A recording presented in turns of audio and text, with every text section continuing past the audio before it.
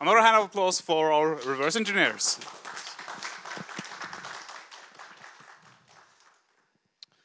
Right. Um, it may contain some traces of assembler here.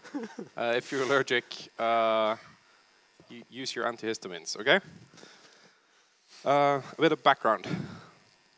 Um, there we go. Uh, so it seems like many of the same faces from the previous talk are here, but there are some new ones. So we're going to repeat uh, in different words what motivated Frida in this talk. Um, and it's, uh, so for the new faces, Frida is a dynamic toolkit for doing uh, instrumentation of other processes. You could think of it as a library for building debuggers, and it also comes with some pre-built tools for doing process inspection and modifying and playing around in different in, in, in a different process and programmatically inspecting and writing scripts that uh, interact inside another process.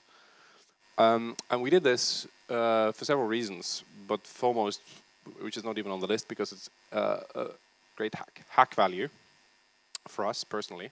Uh, but it also might be useful for somebody um, for using for interoperation, especially if you have, as we said in the previous talk, some black box software. You don't have so, uh, the source code. You want to look into it, what, see what's happening for several several reasons. You might want to interoperate with it.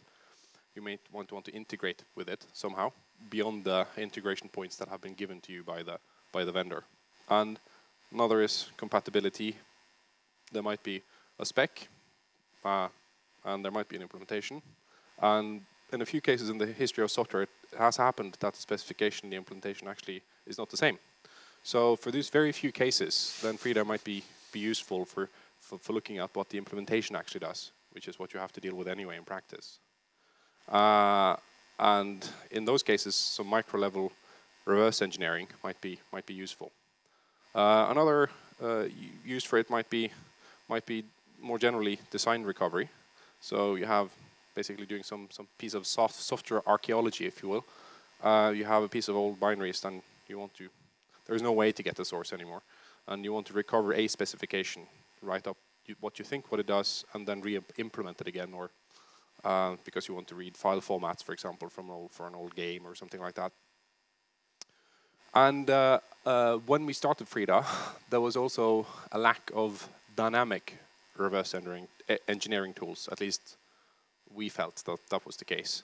So that there's a bunch of very nice static reverse engineering tools, basically that can take binaries of software and dissect the binaries, and you can look into the binaries, see what's happening.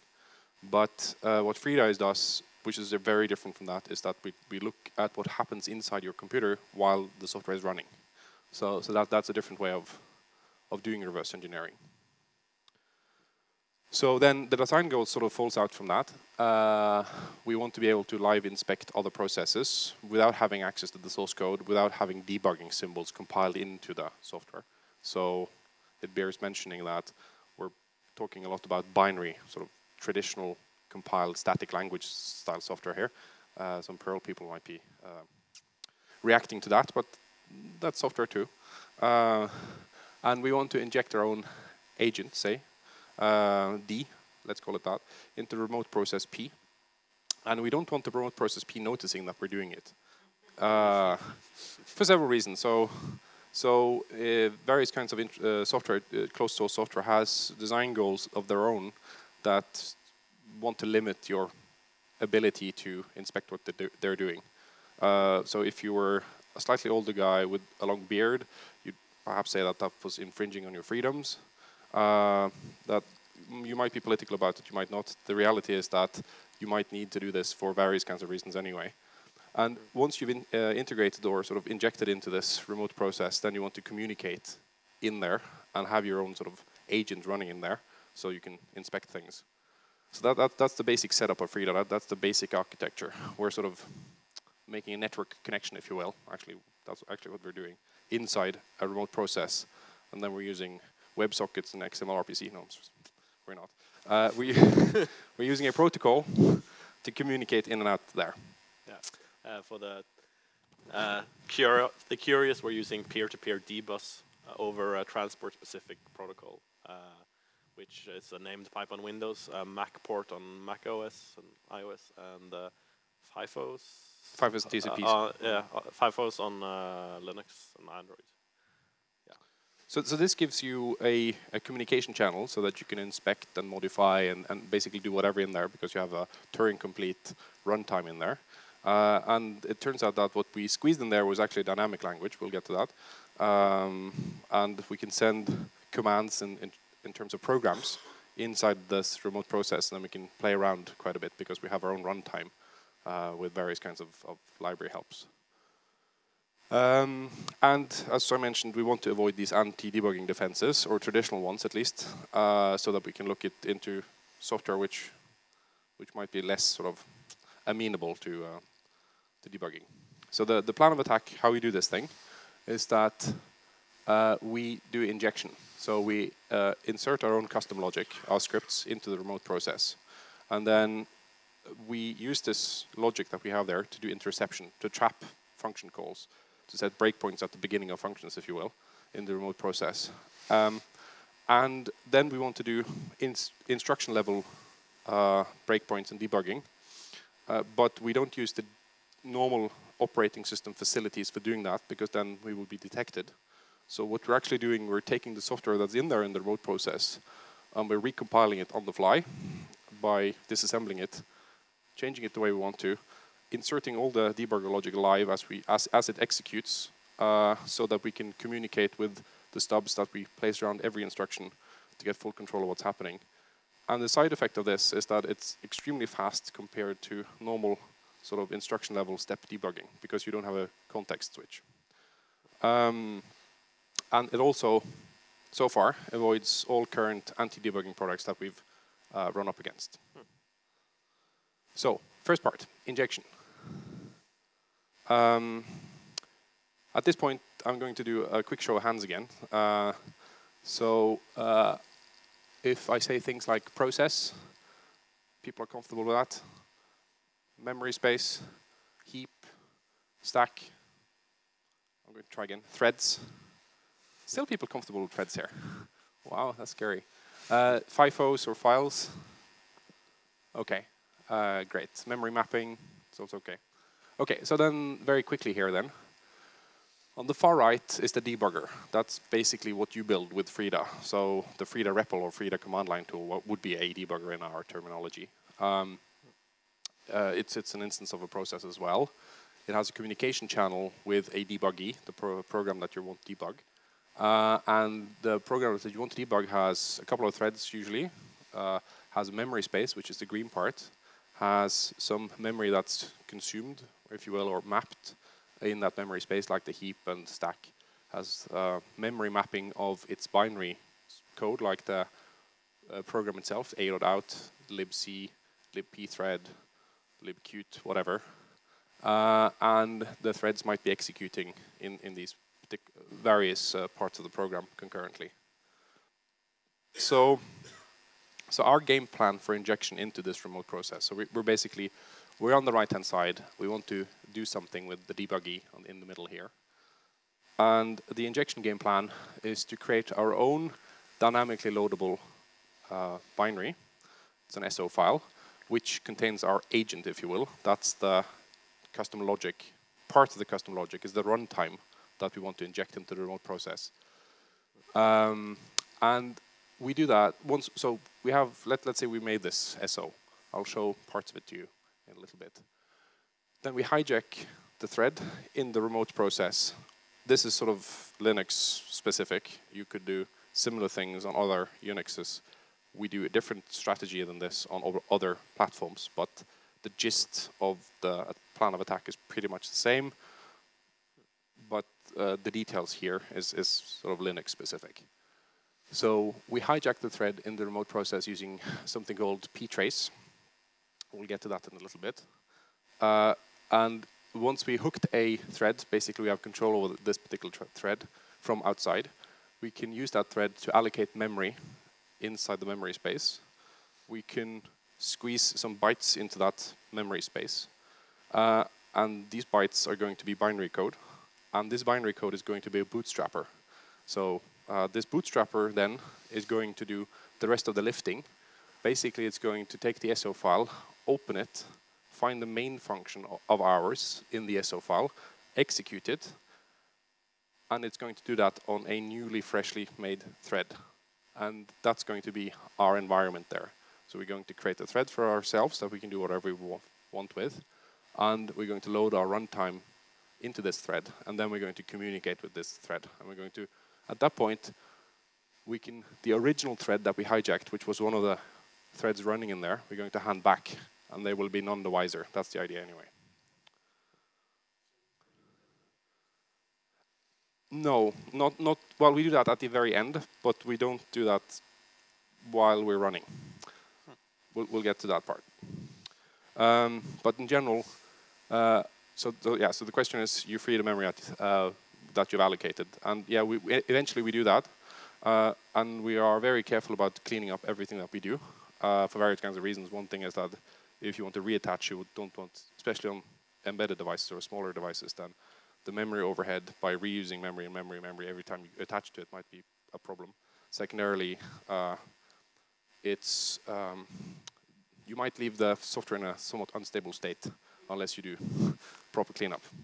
Now, it's likely that you leave the software in a very unstable state anyway, but still, that, that, that's your part, not ours at least then, I mean, as a user. So the relevant APIs for Linux then is ptrace, so it's, uh, it's a system call that you can um, use as a basis for debugging. Uh, it's process tracing, so you can talk, so you can access a remote process somehow and, and interact with this process from your own process. Um, and memory mapping, so it's about uh, making the green parts in my diagram a different color, basically by uh, mapping files or devices or something else into memory. And then we need uh, the ability to open symbolic, also uh, dynamic libraries. So uh, it's, it's kind of like a class file loader in a different language, say, or modules in Python, whatever. Uh, you open this SO file and you can find the symbols inside there, and you can, you can call into those. And uh, we use the Unix signal handling mechanism uh, for a few things, so that the remote process that we're dealing with don't doesn't screw up too much. Uh, if, if, if something unexpected happens, then we can actually, well, we can see what's happening. It's, it's a way of communicating bet between processes in this case. Well, we'll get into the det details. Okay, so I said that we are going to show you the, the SO file, and that's the start of it. It's pretty obvious what it does, so I'll, I'll just move on um, to, to the interesting part, where we hijack the thread in the remote process. So this is this is what we do with with ptrace, and uh, we're not going to discuss error handling here. The code is blissfully short without it. with error handling, it's going to be much bigger. But basically, we we attach uh, to a process ID, uh, and we wait for a signal back saying that we have actually attached to this particular process ID. Uh, so this, this, we're going to check the status field to see that the status we get back is the specific status that we wanted. We could, in theory, actually get a different uh, message on that PID due to various kinds of race conditions, something else being signaled. But uh, but once once once the wait PID returns, then presumably we have actually attached, uh, and then we get the registers of that. So that has blocked a particular thread in the remote process, and then we we can read out the registers for that particular thread. And we're going to use those later again when we want to resume it. So we just remember the state of the thread, mainly the registers for now, and then we're going to squeeze those back in again a bit later when we wanted to resume from whatever it was doing. So now we have a stopped thread in the remote process, uh, and what we want to do is to do a memory allocation there in the remote process. So again, we make another copy of the registers, which is incidentally going to be the same as the last one. But um, we're going to use that as a template for modifying a few registers because now we're going to execute a function call inside the remote process. So we were sort of, we want the remote process to make a function call or simulate a function call, uh, which is going to be a, a little bit tricky. So um, and the function call we're going to make is to mem mmap. Um, and the resolve remote libc function does quite a bit of hairy stuff to determine what the memory address of mmap in the remote process is going to be. But basically, on Linux, there is a way to look at all the memory maps of a process. So if you go to proc self maps for your own process or proc PID maps file, then it's going to list all the mappings. And you can look at the mappings and you can see if you can find the libc mappings, eh? Because that's where mmap is going to live. And then you can read out the base address of that particular dynamic library in the remote process. So if you map this function, so if you map libc in your own process, presumably you're going to get the same. There are a few corner cases here. The remote process might be running a, in a jail with a different base of libc with the same name, which has a different layout. Then Frida is going to crash. Hmm. So we're actually assuming that the libc we're saying at the file system path is the same as the remote process is seeing at the file system path. If that's the case, which it usually happens to be, because you, you control the environment usually of, of where you run the process, then you can map the libc function into your process. You can look at the mmap function in your process, you're going to compute the delta between the, where the mmap is and where the beginning of, of the libc got mapped into your process. And you're just going to subtract the two, you get the delta, and then you can squeeze that on top of the base in the remote process. So this is actually simple. It boils down to simple arithmetic, uh, but there's a few steps along the way. And then, once you have that, then you have to know the calling conventions, in this case on 64-bit x86, of how to call the mmap. So uh, the mmap takes a couple of arguments. One is the size that you're going to mmap. In this case, it goes with in, in RSI. Uh, so we're going to take two pages. Uh, each page is 4,096 uh, bytes usually. Um, and we want the page to be readable, writable, and executable. The last one is going to be important because we're going to put some code in there. So if we didn't get executable, it would cra crash when you call it. Uh, and it's private and anonymous, so it's, it's not available to other processes. I can't actually remember what the zero argument is at, the at this point, the RDI. Uh, the file descriptor. Yeah, right, okay, so we're not going to map it to a file descriptor.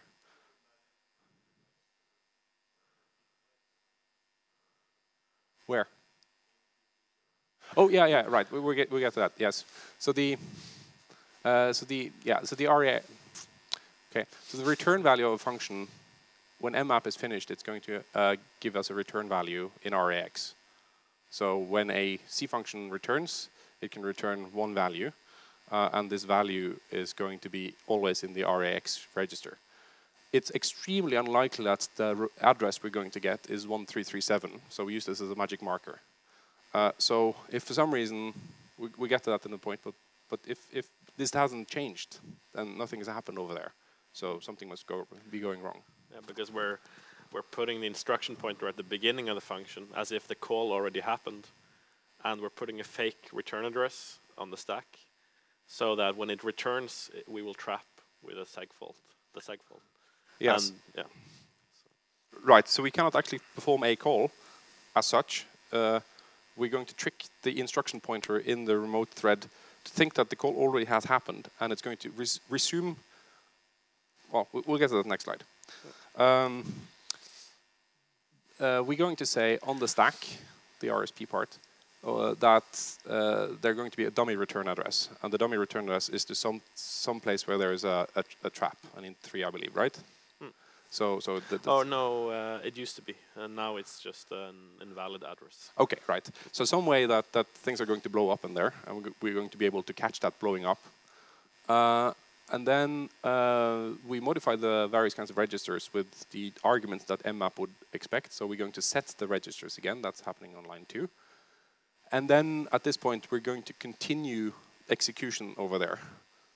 Now, continue might be sort of a bit of a stretch because we changed everything and then we're not actually continuing, we're, doing something new, but that doesn't matter.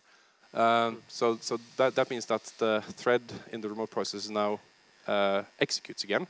When it executes, the kernel will do a context switch back into the thread over there using the regs, regs that we just set. which may means that it's going to resume execution at the very beginning of the mmap function with the stack being set up and with all the registers being set up the way it they must be. Then it's going to continue out towards the end of the mmap function. Then it's going to return. Then it's going to hit this dummy return address. Then it's going to blow up. Hmm. Uh, and then it's going to trap. And that's what we're doing with wait of, uh, Frida wait for child si signal. So waiting for a trap there. And then we're going to get the registers back again. And at this point, we're going to read out the return value of mmap, which is now, as I said earlier, in the RAX register. Uh, and that's going to be the, the, the memory address that mmap over there created. And we're going to remember that for later on. Easy peasy, right? Any questions? Alex?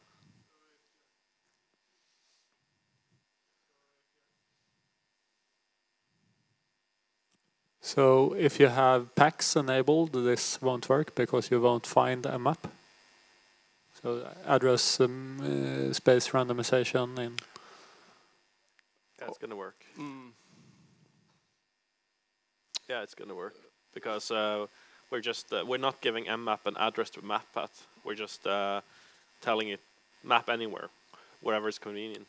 Yeah, but yeah, right. So the the the the, the, the PAX is not going to change the address of the mmap symbol itself. No, yeah. Exactly. Because because we will we'll be able to read out the base address of where libc was matched, if if that was the question.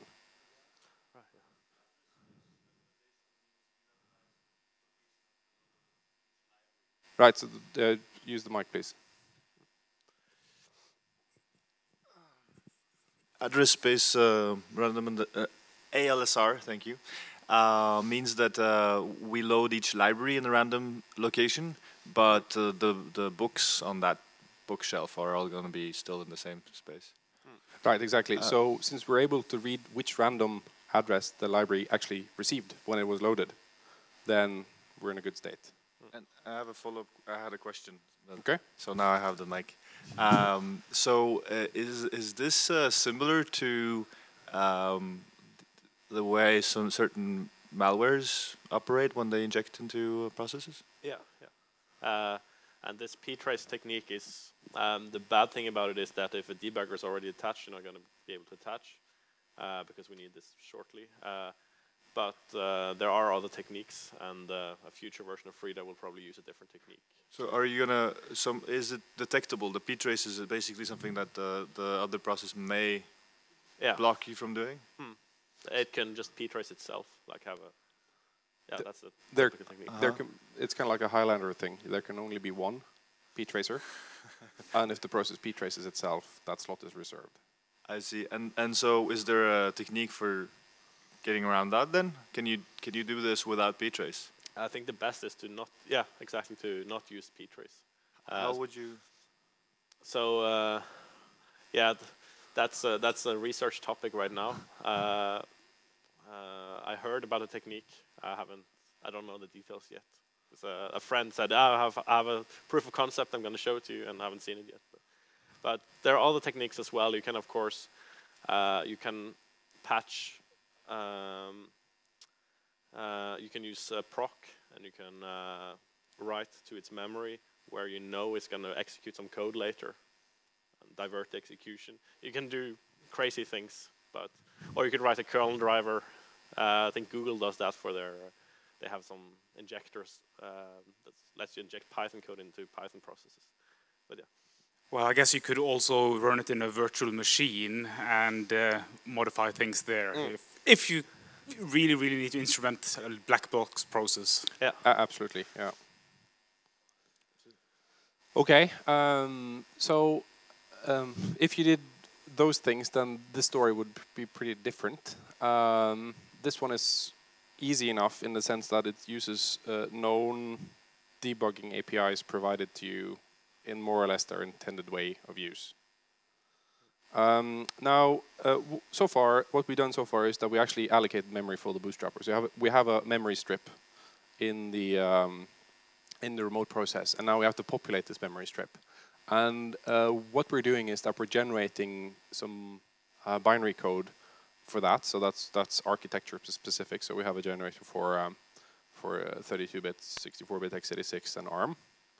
Um, and the pseudocode for what's going to happen, we're going to generate two functions. One is the function that creates a thread.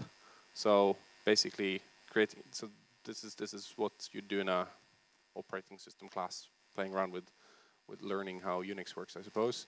You open the thread library, you get the uh, thread create function from this library as a function pointer. So now we have a function pointer called thread create. Then we call thread create uh, where uh, with, with a with, with a memory or an address where where the worker thread information is going to be placed, uh, and with a pointer to the function that's going to execute when the thread is um, running. And that's going to happen at bootstrapper plus 128. So the code that we generate here is going to be at the beginning of the memory strip that we going we generated, and at 128 bytes later, we're going to generate a new function, which is going to be the, the actual function that gets the first trampoline function that gets executed in our thread when it gets made. Uh, and then after we've done this, we're going to trap, uh, basically signaling back to um, uh, our external process that that we've, we've actually accomplished something. So uh, this is the code that gets executed in the thread when it's created. So this is the callable that you supply in a new thread in a Java API, say, or, or a similar thing in Python, the function that you squeeze into the new thread. Uh, Perl is probably the same. So, so what happens is that the first thing we do is open a FIFO path, uh, and that's the way we're going to do some communication with the outside process. Uh, the outside process being Frida in this case, or your sort of debugger command line or whatever you want to build. We're going to write one byte to that um, FIFO path. In this case, we just pick the, we have a string already in here, so we just pick the first byte of that string just to reuse something. Uh, and uh, we then open the uh, dynamic library. Um, we look up the main function in that dynamic library. We call that main function with an argument uh, that allows us to get some dynamic information into the main function of a library from the outside. The, the only other way, there are other ways you could do that. You could sort of modify the binary just before you squeezed it in with this particular information. But that, that's one way of communicating with it. Once so, so this this starts executing uh, the. Th this is basically where we start up our V8 engine, and then there's a main loop in there, and and things start happening. At some point in the future, it's going to finish, and then we close the FIFO, and then we tear down everything, uh, and and we we clean up all all sorts of mess. Um, so so now we have this memory strip. It's divided so far into two parts. The first 128 bytes, which was basically starting a thread and executing something. And then the next few bytes starting at offset 128, which is basically going to be the trampoline that starts executing the main function inside the SO file that we load. So how do we execute this thing? We basically did what we did last summer. We get the registers again. We say that the IP address, so the, the, instruction pointer, is now going to be at the beginning of the bootstrapper sequence. Um, and we need a stack. So we're just going to take the end of the two pages that we allocated, hoping that we're not going to use all that much recursion. Uh, uh, and we're going to set the stack pointer the, to the other end. So then we have about 790 something bytes on the stack before we smash up the code that we're going to execute. but that, that's going to work out just fine. Um, and 4K plus that. Yeah. Um, and then, then we set the registers, and then we continue. Uh, and then we wait for the trap again. And the trap is going to be this trap at the end, the int3 there. Basically saying that I've successfully I think I've successfully created the thread. Uh, and the thread then will open the FIFO and then will squeeze something out on the FIFO, and then you can listen to the FIFO to see if the thread that start actually does is up and running. Easy, right? Questions? Uh, there's also a nice property of using a FIFO is that if the process crashes, well, we know about it. Uh, or if it's closed it explicitly, it's the same scenario. So Right. So so so the FIFO tells us that the remote end is now disconnected. So if something happens over there, we know that it's no longer going to give us any, unlike email. Uh, you, get this uh, timeout. Yeah. Okay.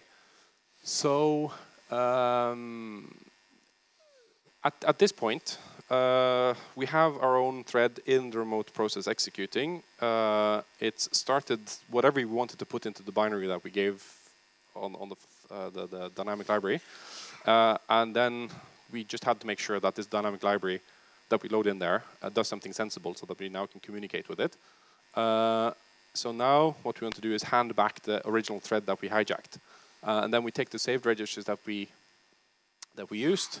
Uh, there are a few minor details that also happen, but basically we we reset the instruction pointer on everything so that it the the original thread hasn't noticed, except for the time that has passed. Uh, it, it's very difficult to detect what's happened. Right. So there, there- there's another point here. So the thread, the, the process would also be able. So the point, point is, and the two, he said, and the two pages that we allocated. Um, yes, uh, it it would be possible to detect those, and it would of course also be possible to detect that now there's an extra thread in there. Uh, and you could also theoretically, I mean, you can also check that there's a mapping of a library that you didn't expect.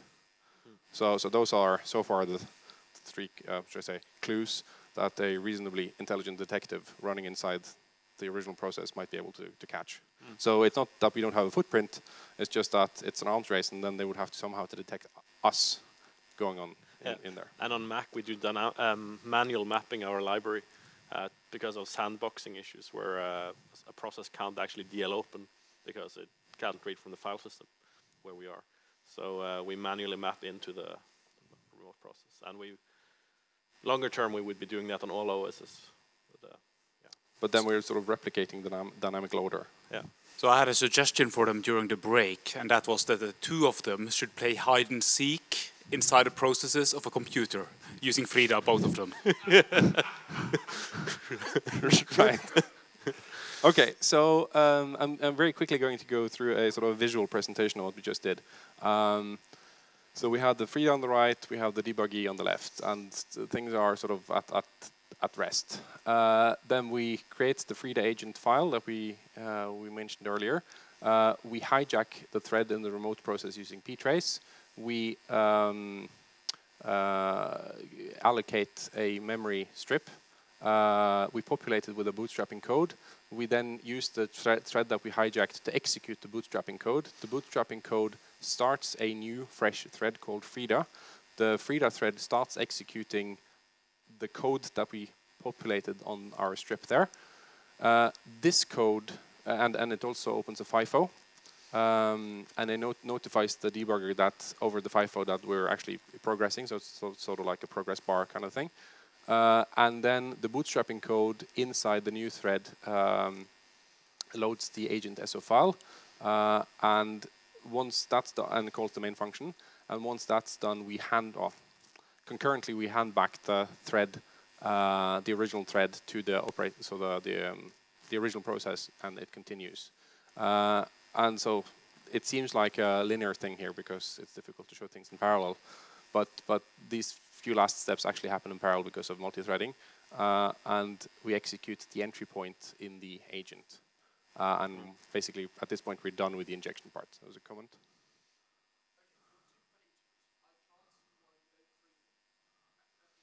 Oh, right. So uh, it turns out, so the, the question is, why don't we free the pages at this point?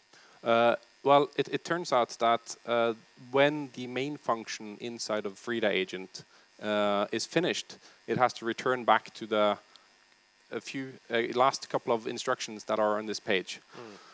And since the total amount of code is less than 4K, there is no point in allocating two pages and freeing one of them, so we just keep one.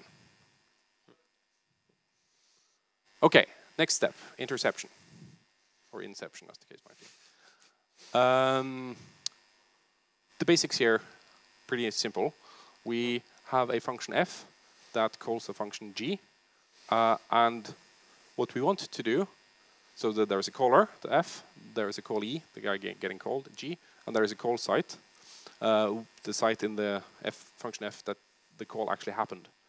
Uh, what we want to do is to inject um, a pre-function before that happens, uh, um, in more or less invisibly, so that we can look at the arguments. That, that that's basically the callback mechanism that we showed you in the in previous talk. That that's how this this is implemented. So for that to work, we have to find the address of the function of interest, generate a small trampoline uh, for for calling the purple function. Uh, we want to we need to replace the first function of the original call First instruction. Yeah. first instruction of the original of, of, of, of the target call, uh, and we use the trampoline to do the call to the function that we actually want to do. Uh, we'll show this in a more more detail. So finding the address of a specific function inside of a remote process is pretty much what we've sort of said so far. We we're now we're now inside. We have our own runtime running inside the remote process. We don't have to do the the ptrace tricks play the ptrace tricks anymore to do remote calling, so we can do everything in process. So then we look at proc self maps, which gets the mapping of all the libraries. We look at all the SO files that are there. Uh, we parse the ELF formats so that we could find all the symbols of the files that are available to us, and we find the base address for the code segment of each module. This is when when uh, showed you the ability to to look at uh, well, various kinds of tab completion in a sense. It's it's similar to that. And uh, when you hook functions like like hooking the draw text stuff and changing the um, uh, OSDC uh, stuff that we said before, this is the mechanism that runs behind that. Uh, and we, if we do find the symbol that we want, then we basically com compute the address of it uh, based on the based on what we think what we parse from the ELF format and from the base where the, we know that this is loaded in memory. So it's the same trick as we used before. Um, still with us? Sleeping? Okay, good. So um, the initial conditions for the in interception might be that we, we have a call site here. It calls the function called decrypt frame. So that, that's the F, if you will. That, that's the original function. And uh, then we want somehow to be able to look at what's happening when decrypt frame is being called. So the, the beginning of decrypt frame looks like this. So the bytes at the left is basically the, the wonderfully uniform uh, uh, instruction set of x86, uh, in this case 32-bit. Uh, so, um, and, and on the right-hand side, basically it's, it's assembly code.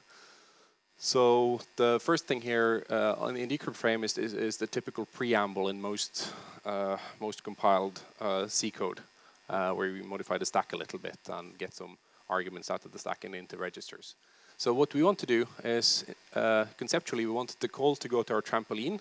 The trampoline is going to make sure that we don't muck up the stack too much uh, and save all the registers and every, everything. We're going to boot up in this case or call into the V8 engine. Uh, so then we can execute all sorts of JavaScript that we want to. Once the JavaScript has uh, finished executing, we restore all registers so that it doesn't seem like we've done anything. And then we're going to return to the original decrypt frame, possibly with some registers changed if that's what we want, or just without leaving any trace. So that, that's, that's the concept of what we want to do. So uh, we start with generating the trampoline. Uh, the save registers and restore registers is it's it's quite a bit of sort of low-level x86 details to get everything there working properly. We have some stack manipulation. Having we need our own stack because we don't want to scratch uh, modify the stack uh, of the original program for various kinds of reasons. Uh, details can be had at request. Um, so the next step is that we have so so we have the basic trampoline. looks like this, but we have to prepare the ground a little bit because our strategy is to modify the decrypt frame function. So we take a couple of instructions from there, stuff it at the end of the trampoline, and then we jump back to the decrypt frame. We'll show how that works. Uh, uh, at the end of these few instructions. Uh, so um, then the flow is going to be this. The call happens, is still going to happen to the beginning of the decrypt frame function. So we're not actually going to change any addresses at the call site. We don't, we don't touch the call site. We touch the target. We rewrite the target, uh, and the first thing we do, we just replace the function there with a jump, which doesn't modify anything uh, except the uh, IP, also the instruction pointer. Uh, that gets to our trampoline. We save all registers. We do the JavaScript stuff. We restore uh, registers and stack. And then we, we continue by executing the original instructions in decrypt frame uh, until we get we, until we executed as many instructions as we needed for our jump call. Uh, and then we continue executing at that point in the decrypt frame. So we sort of split the original function in two parts, take the header out, squeeze it at the end of the trampoline, and then go back. Mm. Easy Uh, peasy. Uh, the only tricky part here is that instruction, some instructions are position dependent, so we have to rewrite them when we copy them. We can't just copy them as they are. Details. Yeah, yeah. Okay, so far. So um, the last part I, we're going to talk about is, is stalking. And, and this is where we do instruction level dynamic recompilation in order to do instruction level debugging and, and, and tracing. So um, we're going to use the same mechanisms that we've talked about so far, namely interception. And then we're going to take the binary code and take it apart uh, and reassemble it again uh, the way we want it. That's that's the basic that, that's the basic idea. And we also have a different tool that we make use of when the stalking happens. It's called a relocator. Uh, Yeah, it's what I talked about. yeah, yeah, um, yeah. I don't want to go into all the details because that, that, that gets really tricky. But let, let's just keep it at the explanation we have so far. Um, so this, let's say we have a max function that compares two values and returns the higher of the two. Uh, so the first thing here is it compares two registers, EAX and EBX. This is third two-bit uh, uh, x86. Uh, so if uh, one is greater than the other, uh, then it's going to jump to uh, uh, register, so offset number six, which is the return. Uh, so then in, in, in, this case, if EAX is the bigger, then we're just going to keep EAX, which is going to return, incidentally going to be the return value because that's what the uh, specification says for all functions. If not, then we have to swap, swap them. So we use a stack, say, to push and pop and we move some registers. Uh, so that this is just a very tiny, simple, illustrative uh, function. So the first step we are going to do so that we are able to do dynamic recompilation is to identify the basic blocks. So a a basic block is basically a strip of of instructions where there is no branching going on, so it just it doesn't jump out of the block, and it doesn't contain a target of anything else either going back into the block. That's that's the basic definition of it at least. Once we have done that, we wrap the first basic each instruction in the first basic block. We wrap with uh, instrumentation code. So the instrumentation code is basic. This is actually the debugger itself, if you will. This is the replacement of the operating system breakpoint functionality. So we, for every instruction here, we could possibly end up communicating over TCP, if, if that's what you wanted to do. Um, Or you could do it based on only so certain instructions you're interested in, yeah, and yeah. you only pay the performance penalty for those. Yeah. So we we are able to invoke the V8 engine for every instruction. For every instruction happening here, we can actually call into JavaScript with everything that happens in there. You can do whatever you want, and then you can return back and do slowing thus slowing down your program. Um, so so the instrumentation happens both before and after the compare because we have to take care of the stack and flags and everything so that it should be invisible what we're doing here. Um, and the post, in this case, uh, you could imagine we should also basically instrument the jump function or the jump instruction. But the, the, the branching instructions we have to deal with very specifically because they make all sorts of weird changes to the instruction pointer and stack. So that's why what we're actually doing here, we're sort of weaving in coroutines if, if people have been playing around with that.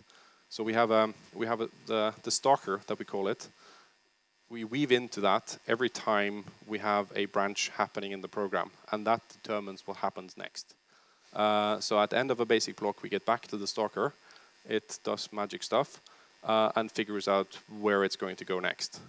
So in this case, uh, the stalker says, well, we're either going to, to, to jump to instruction. So, we, so then the next possible instruction at this point is either going to be 3, push EAX, or 6, depending on the flags that have been set. So then the stalker has to emulate the function of the, the uh, jump greater instruction, has to know what to look for. Uh, and uh, yeah, actually, yeah, I don't know, maybe I shouldn't go into technical. Well, if you can do it in two minutes, Uh, that's fine. So uh, we, we take that jump and we um, uh, we make two generate code for the two cases. Uh, and we just jump. So into the stalker for one case, into the stalker for the other case. That's it. So then, then the, the stalker then, when when, it, when we get to the stalker, it, it is able to inspect the states that we that we sort of accumulate so far to see where it's going to go next. So at this point, we haven't actually touched. The stalker has never seen three, four, five, and six. It doesn't exist in the world of the stalker yet. Um, so it's on, not until you actually get to the point where it sort of stalks and decides that it's going to go to address three. Say in this case, uh, it falls through. So the, the sizes are so that the, the EBX is bigger. We have to go to three because we have to switch them. Uh, at that point, the stalker reads the uh, the next basic block, and it transforms the next basic block and make sure at the end of the next basic block it gets called back again. Uh, so then we execute the basic block, uh, thus, and at towards the end you get it gets called back, uh, and and that's basically the, the, the main loop of, of the stalker.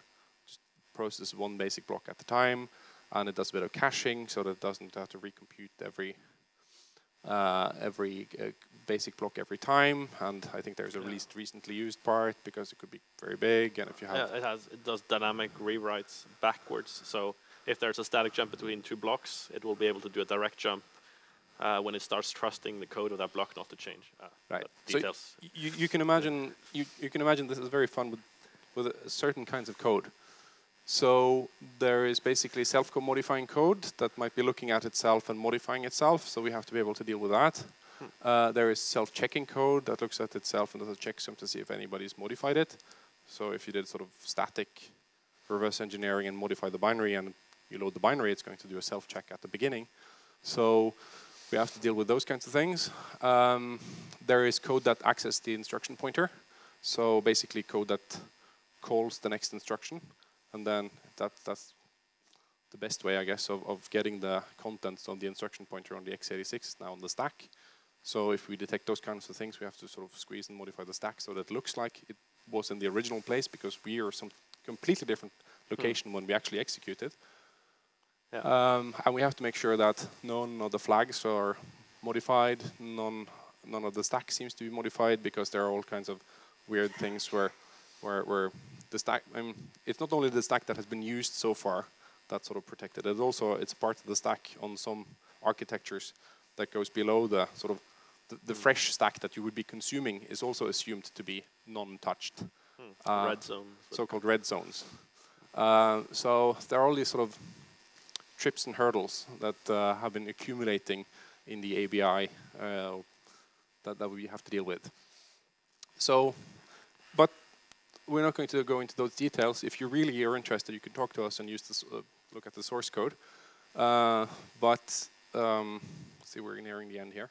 Um, so basically, what we, sp- we spoke about so far is the ability to intercept, in, inject um, system inside a remote process, uh, catch all function calls, and use this kind of technique to do instruction level debugging uh, by interjecting a sort of coroutine based debugger inside your remote process if you were so inclined.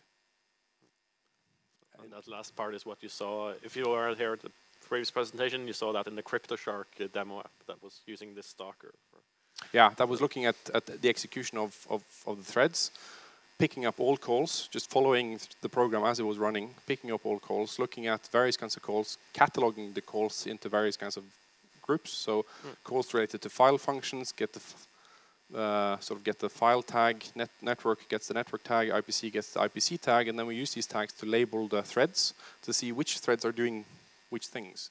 So if you have a sort of 100, well, that's perhaps a bit too, too much, but 10 or 20 threads in, a, in an application, the, and, and you might you might want to know which thread is actually doing the networking because that's what I'm interested in.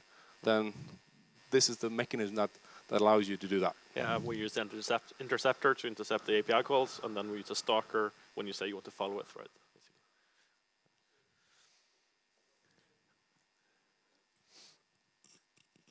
Is this on? Yes.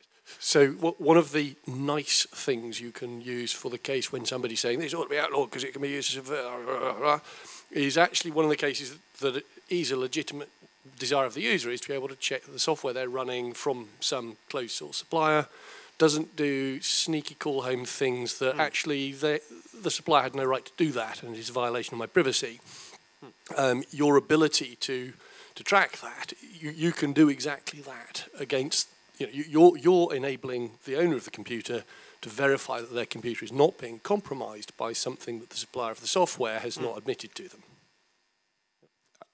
Absolutely, this is this is getting, at least in our view, this is even more interesting to do on the mobile devices.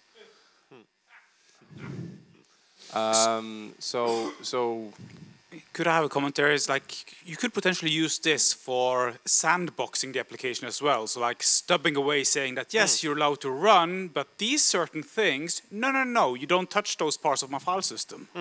Yes, yeah, absolutely. Um, so you get you get an extremely fine-grained uh, way of doing sandboxing. Uh, I mean, you, you could even you can even imagine uh, throttling various kinds of functions as well, uh, just by returning at the beginning of a function if you didn't really want it to happen. Or you, I mean, um, so so w- one one way I, I, we were thinking about this early on is that sort of it, it gives you a way of doing aspect-oriented programming in compiled binary code. And, and uh, the cool thing is you can also simulate network conditions. Uh, you don't have to set up a lab where you're uh, um, re replicating some network scenario with firewalls. You can just do it inside the application, and you can see how it responds to it. You know, so you can use it for testing your own products. Uh, yeah, logging code in your own product. You can have your own logger on the side and stuff. Yeah, many use cases. So do we have any further questions? I guess we're done with the presentation. Uh, thank you for a very fascinating talk and um, Our pleasure. two talks, fascinating, and thank you.